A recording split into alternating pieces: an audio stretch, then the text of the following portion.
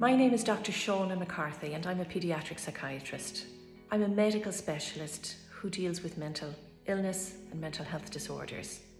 But today I'm going to focus on coping with depressive illness. Now, many of us are familiar with low mood and depression, which are words used very easily to describe how sometimes we may struggle or have down days uh, because of what, what life throws at us and what other things may be going on.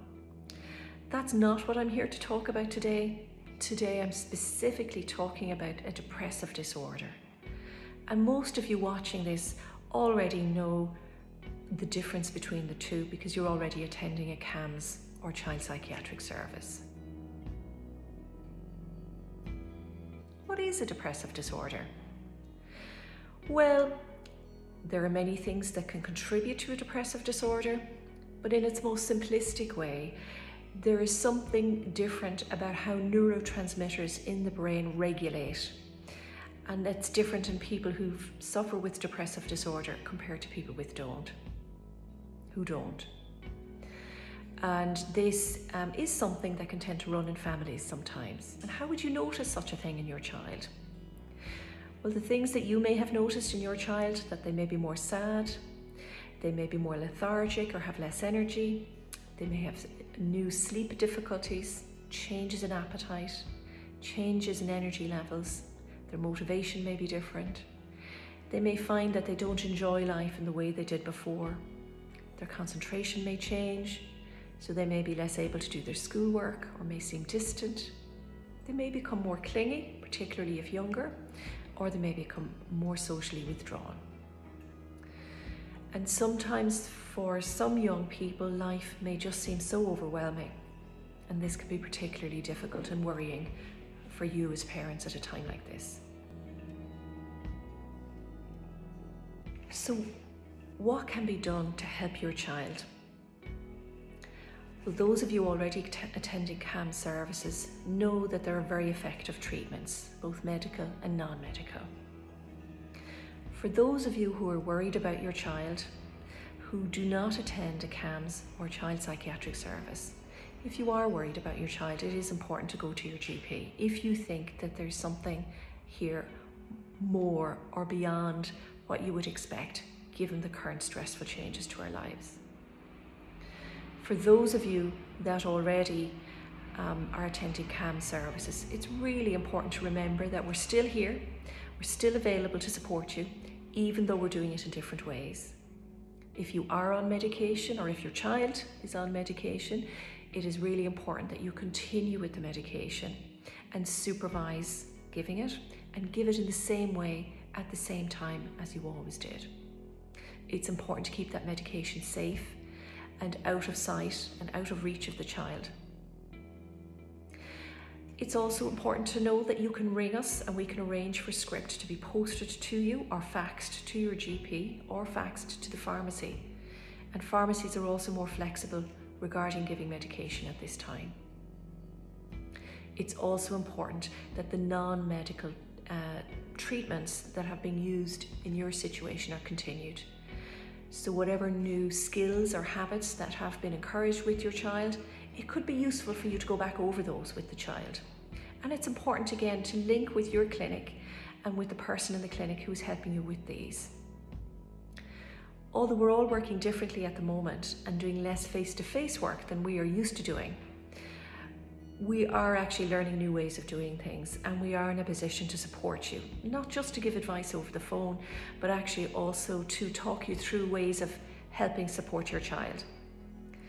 Um, in some instances, clinics may be giving out um, helpful uh, fact sheets or maybe um, homework as part of a, a talking therapy, or sometimes they may be giving more routine advice. COVID has changed all of our lives in ways that we didn't expect. And how we cope and how we adapt to that is different for everybody. And it's the same with young people who may have a depressive disorder. So while it's really important you take the medication as prescribed and you continue with any talking therapies or non-medical advice that you've been given, it's really important that you also remember the basics. A healthy routine, good nutrition and eating habits, regular exercise, and good sleep habits are very helpful for all of us at this time. And it's really important for families to share how they do these things and to share routines, and that will also help your young person. Uh, it's important to tailor what you expect of them realistically. But it is worth thinking about having them up at a regular time each day, um, having some exercise involved each day. That could be kicking or a football around the garden, it could be doing some yoga, it could be going for a walk. It depends what works for your child and your family. And don't forget to have fun. You know, as part of your routine, sitting down as a family to watch a movie or to kick a ball around for fun in the garden or to do some baking or cooking together, there are lots of different ways to have a routine that suits your child and your family. We've also noticed that some young people with depressive disorder, in fact, are quite liking uh, the current circumstances. Uh, for some young people, the social demands of school or extracurricular activities are simply too much when they have um, depressive symptoms.